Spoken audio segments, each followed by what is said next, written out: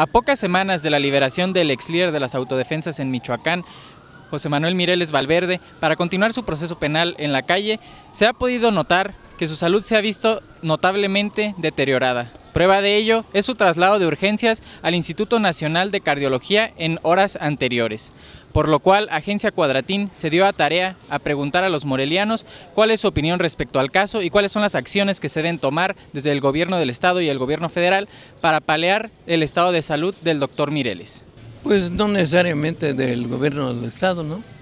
La responsabilidad es del gobierno federal, fue el que lo tuvo ahí en la cárcel el gobierno del estado pues ha de tener cierta responsabilidad, pero yo creo que toda es del gobierno federal.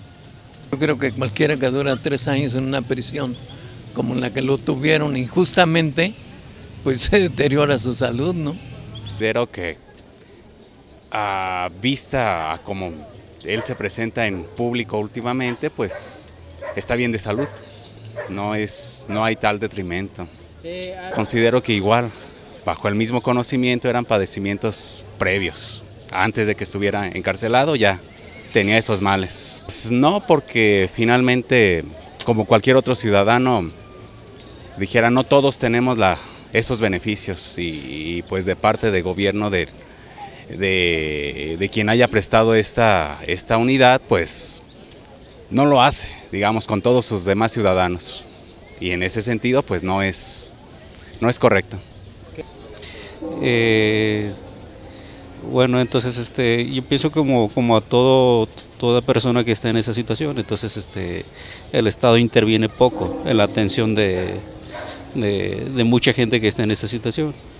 Y yo creo el caso particular del doctor Mireles este, es, es algo que, que relevó, ¿no? entonces recibió poca atención médica y, y pues eh, hace recientemente me, enteré de que tuvo se, hospitalizó de urgencia por un problema cardíaco que tuvo, entonces este y todo todo eso es a consecuencia de, de una mala atención previa previamente, porque pues sí sí se requiere una atención este inmediata, ¿no? Entonces eh, hasta donde tengo entendido tenía un problema cardíaco, ¿no? Tenía una arritmia cardíaca, entonces eso sí son situaciones que se deben de este, atender de de inmediato, de urgencia.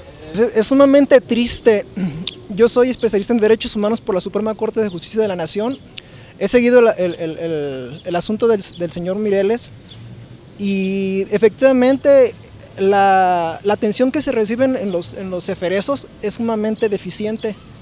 Ah, me ha tocado presentar varios escritos ah, ante un juez de distrito amparando a las personas porque les suspenden los medicamentos. Probablemente pues sí se haya visto afectado porque tres años estar en ese lugar donde no tienes una, una este, adecuada orientación médica, lógicamente que sí, se, tiene mucha razón la familia y bueno, esperemos en Dios que se, que se recupere pronto y que pues que siga adelante porque la verdad el Señor sí, sí ha hecho muy buen trabajo, sí ha hecho despertar bastante a Michoacán.